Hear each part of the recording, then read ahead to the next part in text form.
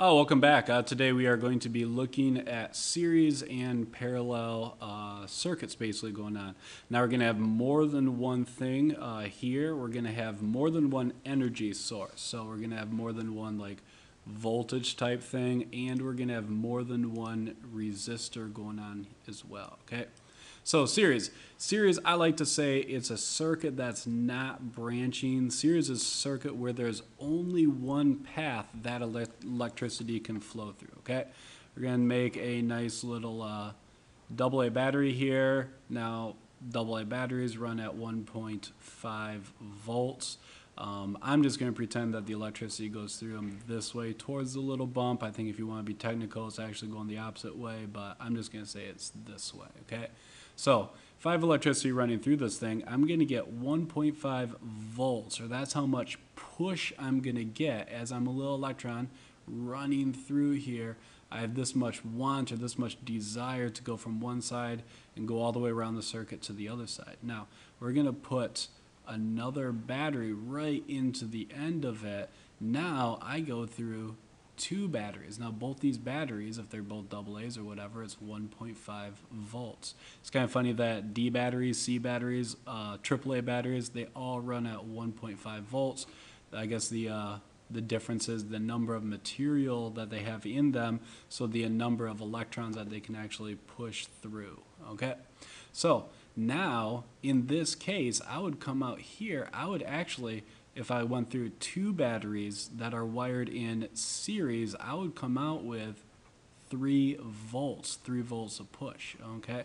I'm just gonna stick one more on just for the fun of it.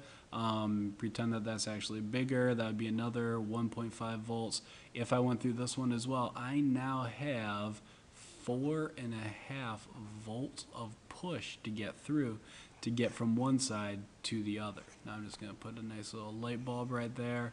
Light bulbs make some resistance. As the electron pushes its way through it's going to lose it's going to slow down uh, it's going to lose some of its energy it's going to lose its voltage and it's going to come back with zero volts of electricity.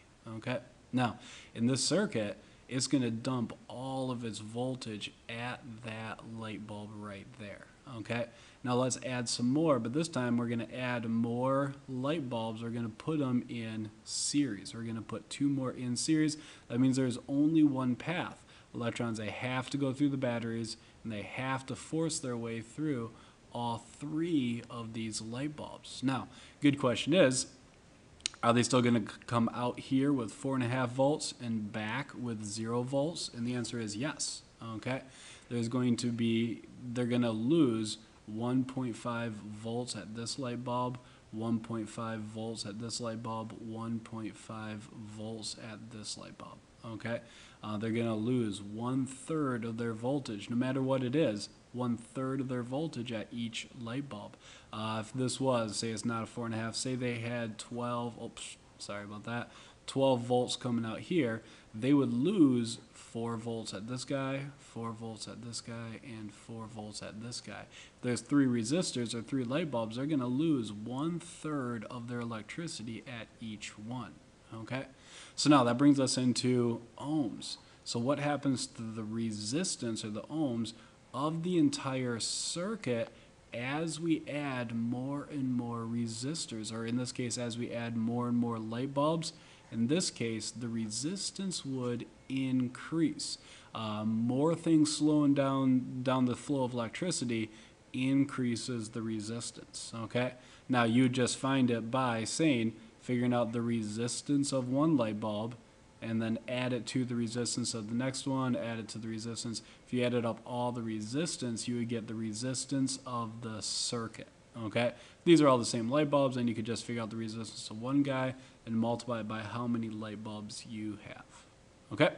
Now let's go down to parallel. Parallel is going to be a little bit different. Um, you could say a parallel circuit is a circuit where there is a branched path, or you could also say there's multiple paths that electricity is going to take, okay?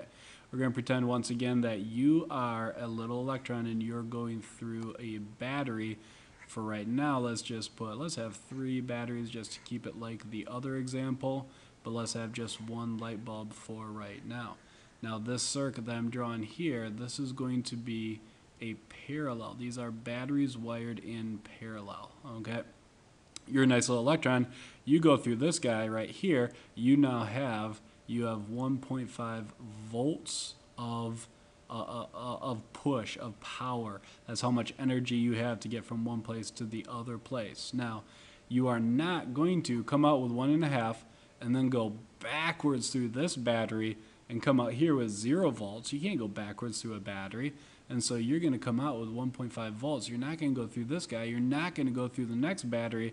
You're just going to go through that light bulb right there. Now, it should be noted that if there's only one light bulb on there, you're going to dump all one and a half volts of energy, and so that you can come back home with no volts. You're going to lose all your energy. So, up here in series, as we added more batteries, we saw the voltage increase.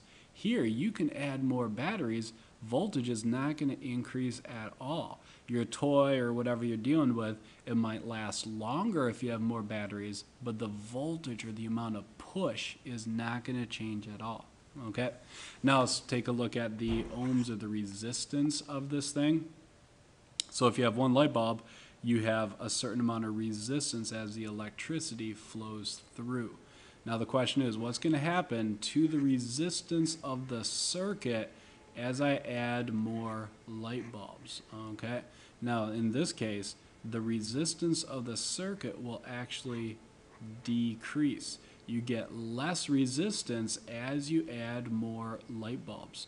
Uh, you can think about like cars on the highway. If there's only one exit ramp that someone can take to get downtown, you're going to have a lot of resistance or a lot of backup on that exit ramp right there.